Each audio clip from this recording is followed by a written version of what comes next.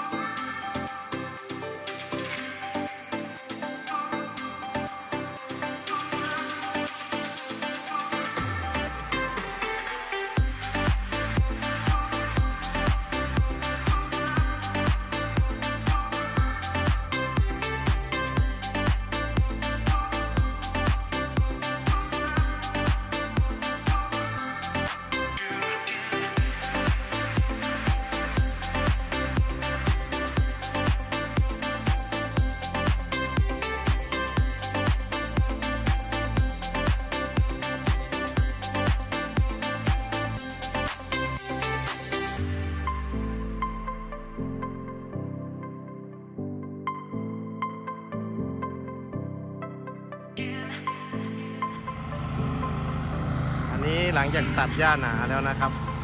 เรามาดูหญ้าเล็กนะครับ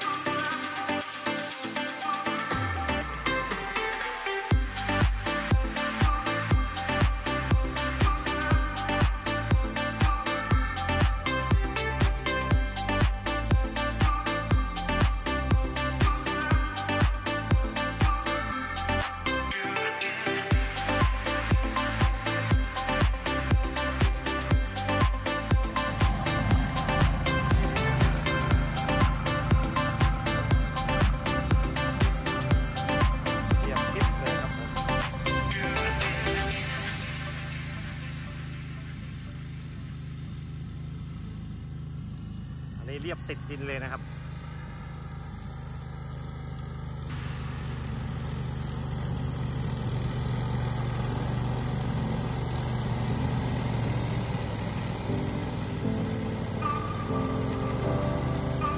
โอเคเรียบร้อยเสร็จเรียบร้อยก็เอาถาดไปมีด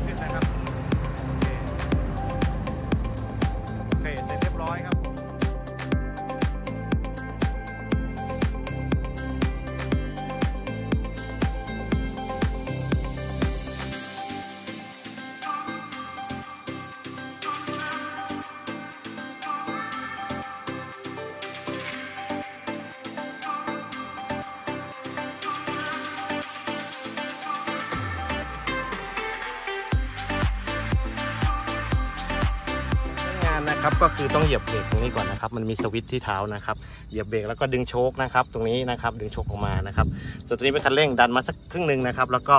บิดสตาร์ทนะครับ เหมือนรถยนต์นะครับ ส่วนด้านหน้าที่เห็นเป็นไฟนะครับ สวิตช์จะอยู่ตรงนี้นะครับดึงอย่างนี้ครับ อันนี้ปิดนะครับ แล้วก็พวกนี้มีอยู่ใต้เบาะก็สามารถยกขึ้นนะครับอันนี้ก็จะเป็นพวกใบมีดนะครับ ชุดสายพานนะครับ ถ้าเกิดเราจะดู maintenance นะครับ ก็ไม่มีอะไรยุ่งยากนะครับ ถ้าติดขัดตรงไหนก็ทักมาถามได้นะครับโอเค เดี๋ยวเราจะลองสาธิตการตัดหญ้าให้ดูนะครับตรงนี้นะครับถาดนะครับต้องเอาขึ้นสุดนะครับ ถ้าไม่เอาขึ้นสุดรถจะสตาร์ทไม่ติดนะครับเดี๋ยวลองสตาร์ทเลยครับก่อนอื่นเหยียบเบรกนะครับ เสร็จปุ๊บนะครับ ดึงโช้กก่อนนะครับอ่าแล้วก็บิดกุญแจสตาร์ทครับติดแล้วก็โช้กกลับนะครับอ่าเทคคันเร่งแล้วก็เดินหน้าถอยหลังได้เลยนะครับ คุมด้วยคันตัวนี้นะครับ ถ้าจะตัดก็เอาถาดลงนะครับหญ้าสูงก็ตำแหน่งสูงก่อนนะครับ แล้วก็ลงคันนี้ครับ